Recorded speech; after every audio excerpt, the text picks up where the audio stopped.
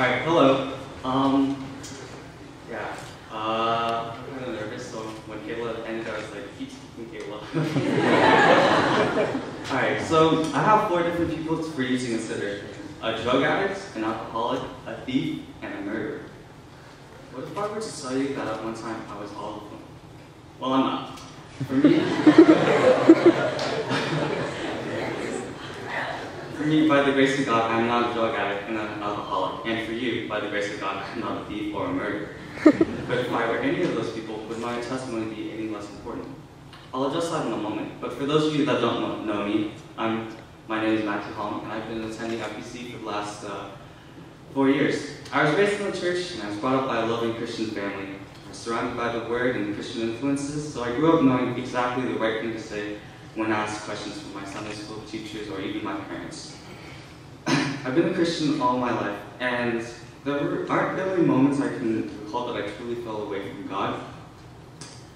Of course, there were times like when I doubted the sovereignty of God or even His existence, but I've always been serious about my walk with God. But I do, but like, I've never had that really epiphany moment that a lot of non-Christians have when they come to know God.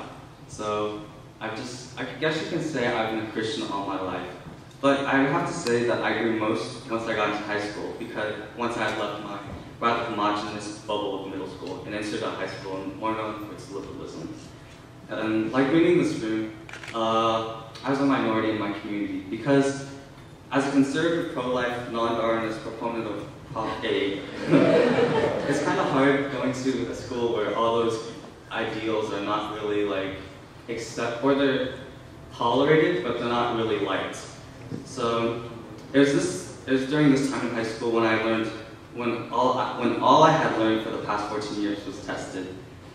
Um, so in like classrooms and stuff, it'd be it always be kind of difficult to uh, when people were talking, especially in science classes, talking about like evolution or like uh, in history classes, such like that. When they're talking about difficult subjects, it's always kind of difficult to maybe raise your hand and say what you truly thought rather than just going crowd. And that's kind of some of the things that have shaped me. I'll spare you all the details, but it's like it's one of those it's one of those things in high school where you truly learn where your faith is. But the main point I'm actually trying to get at, ironically, has very little to do with me. Simply, my testimony is not about me, despite how many times I've actually used I in the last couple minutes. But uh, yesterday, uh, I actually unintentionally opened up to Paul's testimony during his persecution in Jerusalem, and I already knew that my testimony wasn't nearly as incredible as Paul's was, or a thief, or a murderer, or any person you want to put in the blank. In fact, it is almost altogether unremarkable. But a more important fact is that it doesn't matter how remarkable or unremarkable my testimony is, because I'm an instrument of God's hand. As all of you well know, God can do anything, and it is not our life stories that make us effective in proclaiming God's love. It is God who does the work. Alright, so I kind of have a bizarre analogy coming, so and it's kind of obscure, so I'm just warning you guys ahead of time. So, alright, so imagine God as like a patron in a restaurant, okay? So he has his fork, his knife, his spoon, his plate, and a cup.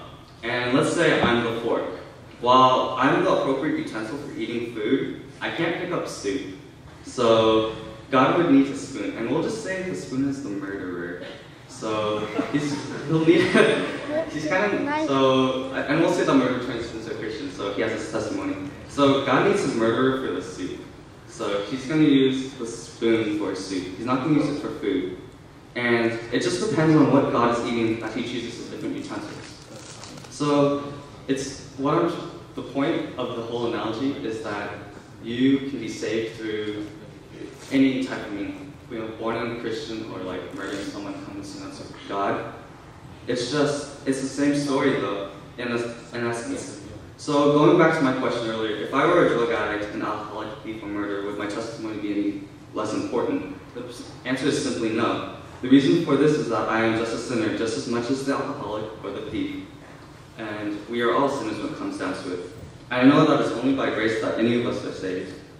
Um, so when it comes down to it, it really doesn't matter how important, and I use that term very loosely, uh, a testimony is because in each and every testimony, it, is, it has always been about, the grace of God saving us. This testimony at the core of it is not my testimony, it's God's working in my life. Alright, and then uh, I have a verse to share with you. It's kind of like my favorite verse, but uh, Romans 8:38. For I'm convinced that neither death nor life, nor angels nor demons, neither present nor future, nor any powers, neither heights nor depths, nor anything else in all creation will be able to separate, separate us from the love of God that is Christ Jesus our Lord.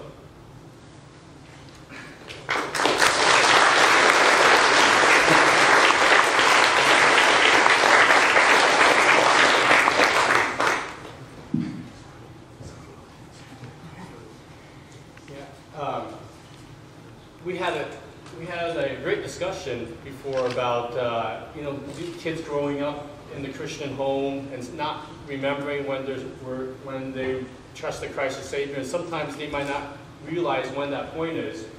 But a person needs to understand that they, who Christ is and who, who they're trusting at the present time. And, uh, you know, and, you know, Matt, uh, shared about how, about what he is believing and trusting in to get to get saved. Because none of us are born into the Christian faith. Everyone needs to make that decision for Christ. And we thank you for Matt's uh, profession of faith in Christ and knowing Christ as the Savior. And so, based on Matt's profession, his parents, Wally and Joanne, will baptize him in the name of the Father, the Son, and the Holy Spirit.